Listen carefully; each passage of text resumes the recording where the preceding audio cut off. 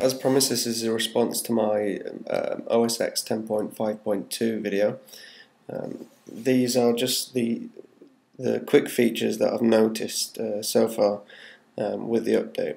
If we head on over up here, you will now see, as default, you'll see the um, Time Machine um, status inside your menu bar. So if you click on that, obviously my Time Machine is not configured right now, um, it allows you to browse other disks and open Time Machine preferences. If you go to Time Machine preferences, it now says Show Time Machine in status menu bar.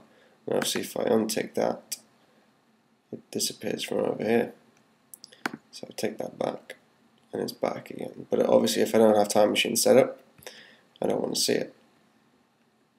Um, the next thing which all of you will probably like the best is if we go over here to desktop and screensaver.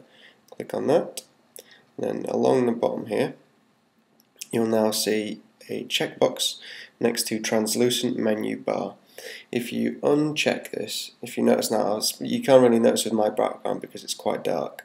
So if we have a before shot, if I uncheck this, you can kind of see that it's no longer translucent.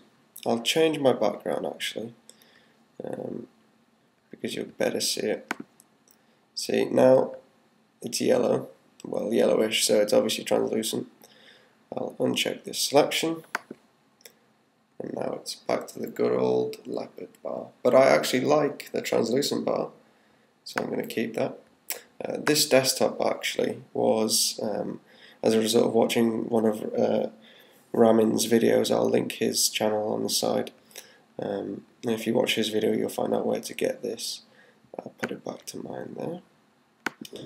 Um, so, oh, and the last thing actually, before I forget, is obviously if, if you use Stacks, it's one of the the, the, the buzzed features of um, Apple's Leopard operating system.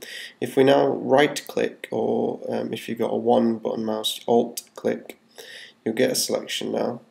You'll see fan and grid, which is what we used to see. Fan was obviously the little uh, tower of um, objects, and grid was the big block of objects.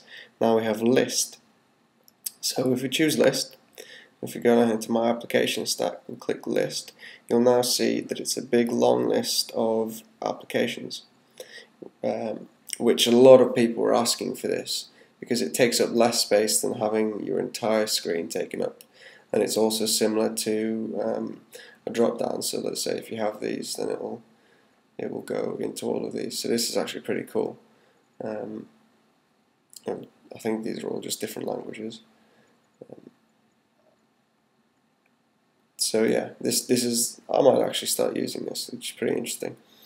Um, so if you see that, if you go utilities and it'll open up. So it's actually going to, rather than having to go through Finder, it's going to make it a lot quicker for you to do. Um, and it's sort of reminiscent of these drop-down menus. So it's basically carrying the theme throughout.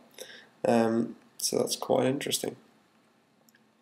So uh, at the moment, I think that's pretty much it um, because a lot of the fixes were in the background. So um, the network settings are obviously they're configured to I think there's some compatibility issues they used to have. Now they're more compatible better stability.